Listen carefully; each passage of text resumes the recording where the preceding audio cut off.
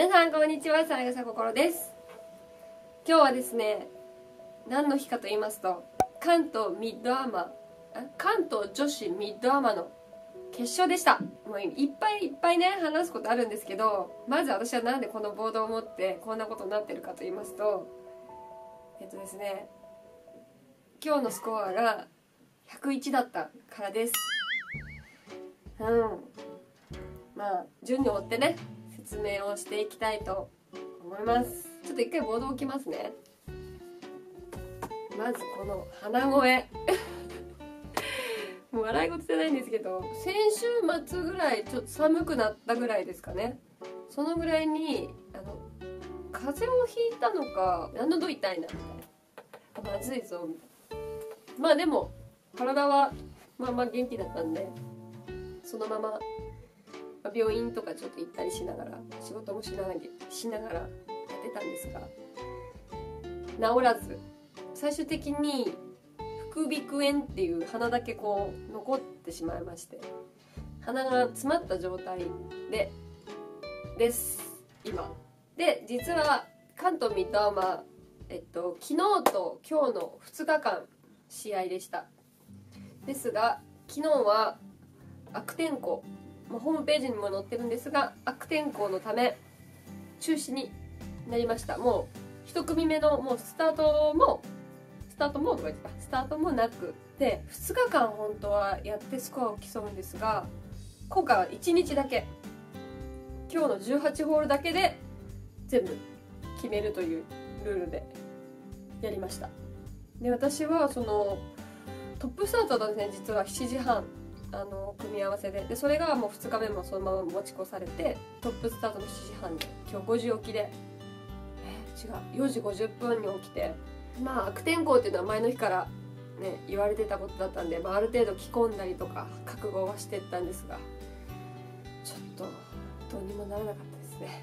まあいつも通り1番ホールからどんなことがあったのかっていうのを紹介しようと思うんですがあまりにも叩いたのとあまりにもいろいろありすぎてですね何がどのホールで何だったかっていうのはあんまりちょっと頭が頭が回るかどうかっていうのがあるんですが覚えてる範囲で説明していきたいと思います。あーまず1番ホールもう事件です。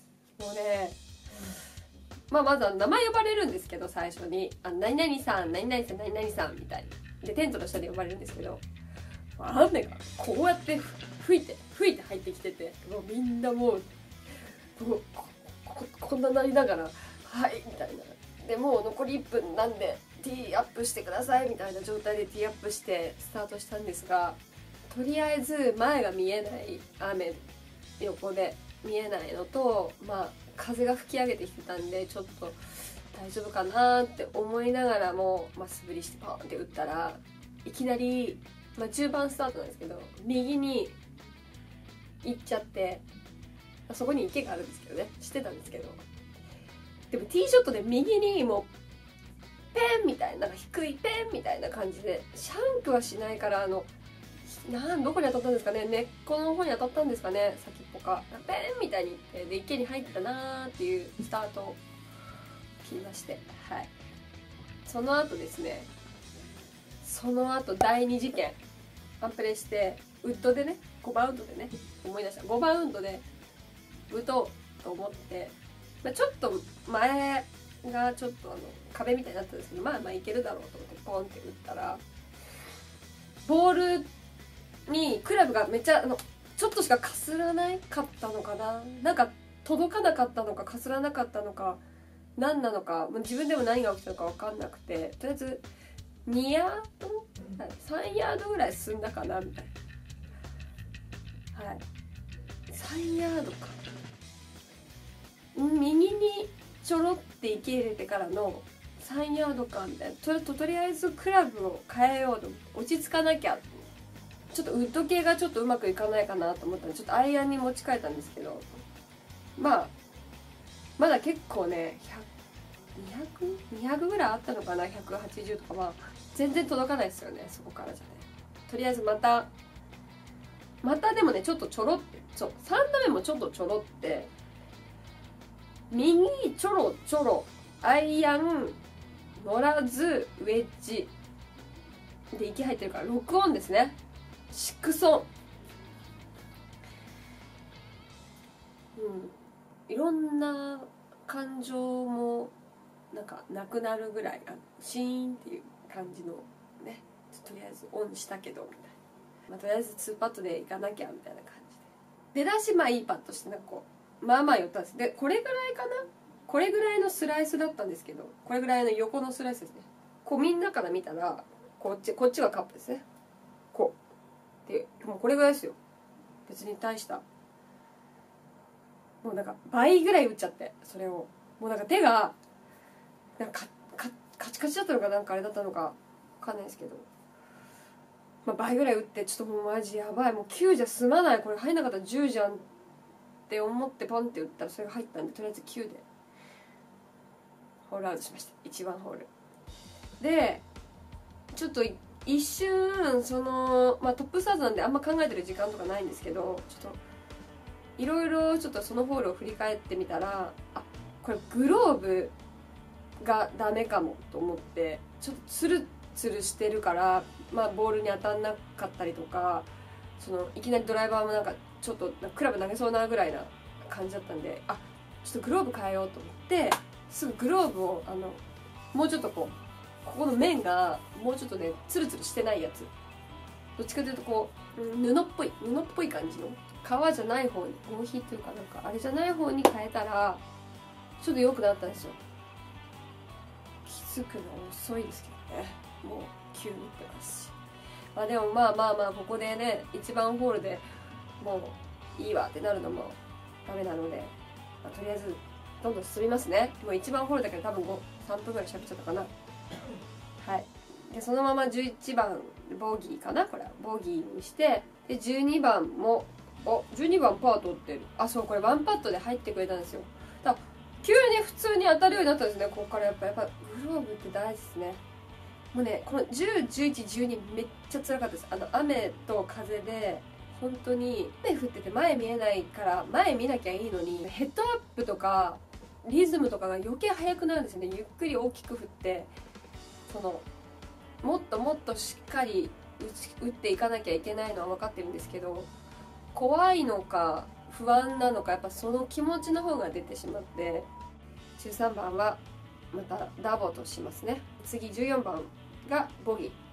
まあ9以外はまあダボとボギーとパーであるからまあまあこの辺まではまあいいかなと思ってたんですけど15番ここでまた大事件が発生します。ティーショットはまあまあコース内のこうフェードっぽい感じで打てたんですがちょっと斜面だったんですよねセカンドが。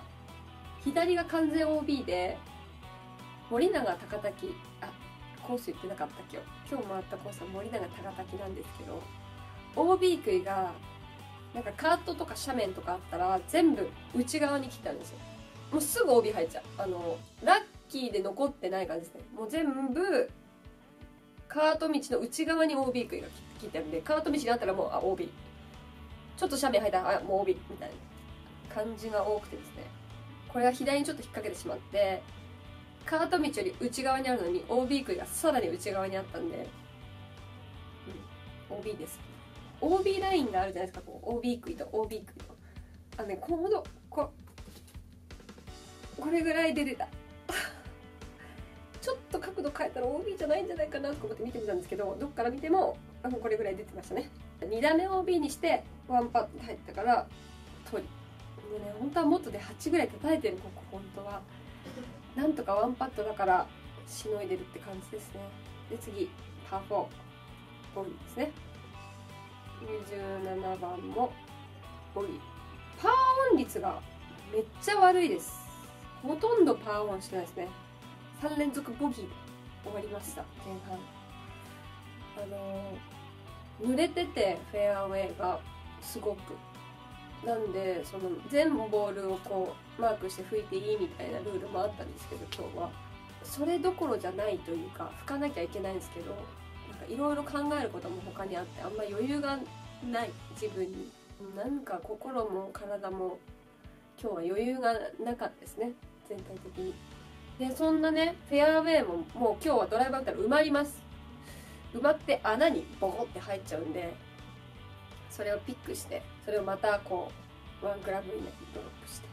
もうそういうバンカーも全部そういう処置が必要だったんで早くしなきゃいけないルールもしなきゃいけないまあルールをねもっとしっかりしてればいいんですけど結構変わったこともいろいろあったんでその中での気持ちの整理とかが全然うまくいかなかったですね。ってことでですね前半はね51をね叩きましてですね後半ですねこのままじゃいけないぞとちょっとあの巻き返そうっていう気持ちよりもまあまあまあ100叩かないようにねせめてものせめてもの頑張り頑張り。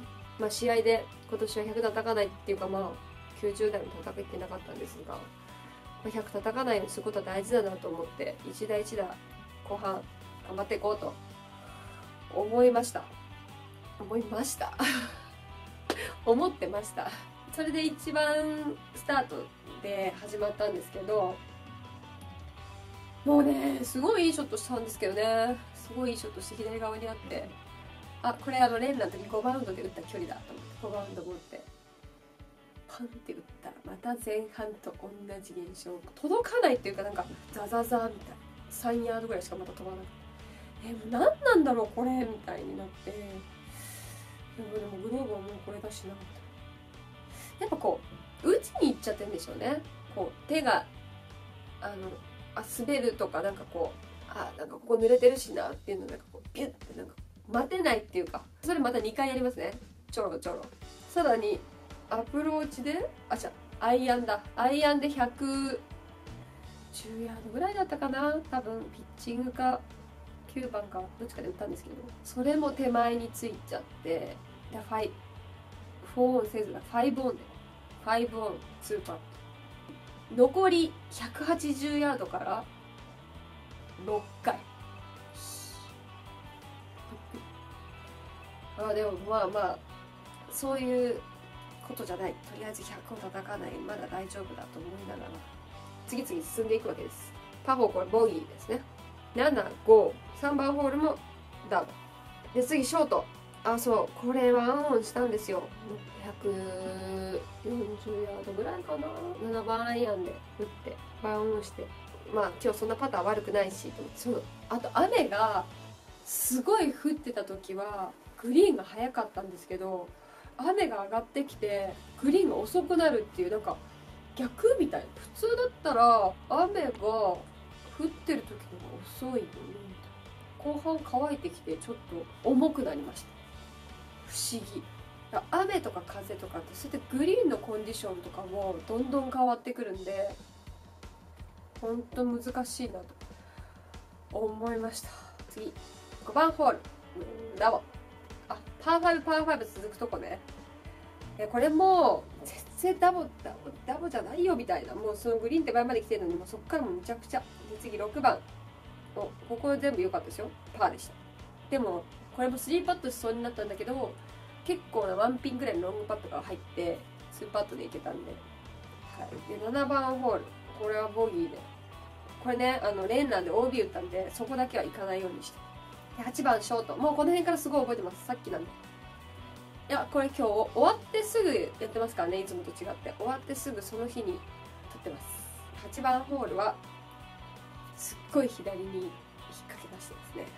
すっごいピン右にあるのにすっごい左に行って。すっごい左に行ってアプローチして行ってこいからのワンパット。ボギでこの時点であんまやっちゃいけないんですけど一応スコアを考えちゃってこのぐらいで上がれたら100切れるかもっていうスコアをね気力を出すためにも数えたんですけど空回りしましたね完全に。最後ドライバーセカンドまでは全然別にあセカンドダメかセカンドバンカーに入れたことがダメなんでドライバーが良くてセカンド右の大きいバンカーに入れちゃってで実は18ホールじゃない最後の9番ホールまで今日1回もバンカーに入んなかったです。なんでバンカーがどうなってるかっていうかどの重さでどれぐらいの感じで打ったらっていうイメージが全くなくてですね。とりあえずフェース開いたら弾かれるかなと思ったんで、まあ、閉じ気味でまあ、普通に打っとけば出るかなと思った。思いのほか重くて全然出なくてでバンカー広かったんで結構。そこのバンカーからそこのバンカーに行きました。ねそこのバンカーもうすぐ。もう。えー、重っ。ってなって。次2回目で出てドライバー4番ウッドバンカーバンカーアプローチパターンに変えたよく叩くね。後半は50回。計101今年のワーストかな？もしかしたら。違うかもしれないんですけど。まあでも試合では確実にワーストですね。はい。まあね上手い人は本当に一緒に回ってた人が76かな同じ。同じね状況で同じコンディションでやってるんで。でもやっぱもう上から潰して打つというかクリーンにもうそういう時はクリーンにボールを打っていかないと水がちょっとでもそのボールとの間に入ったりするとダメなのでもうそれが私はもう全然できない。でどんどんリズムも速くなってしまう。ということが分かりました。まあ自分の力を知ることがさらにできて課題が大いに見つかって、まあ、今年はね予選通過が、まあ、目標だったんで予選は通過したけども決勝で全然ダメだぞと。コンディションが変わったらこんなにも打てなくなるものかっていうそれを感じれたので頑張ろうと思いました。まあ体調整えろよという話なんですがまあまあでも出てよかったなっては思います。うん。難しかった。難しかったけどその中でもねいいスコアで回ってくる方たちが回ってくる方たちがいるのでいつかそんな日が来ればいいなと思ってるんですがまた来年関東ミート挑戦できたらなと思ってはいますので競技ゴルフを挑戦する私を応援していただけたらなと思います。以上をもちまして決勝101を叩く結果となりましたが報告動画とさせていただきます。ではまた次回の動画も楽しみにしててください。バイバイ。最後までご視聴いただきありがとうございました。他の動画が気になる方は左の動画をタップ。チャンネル登録は右の登録ボタンをタップしてください。コメントと高評価もよろしくお願いします。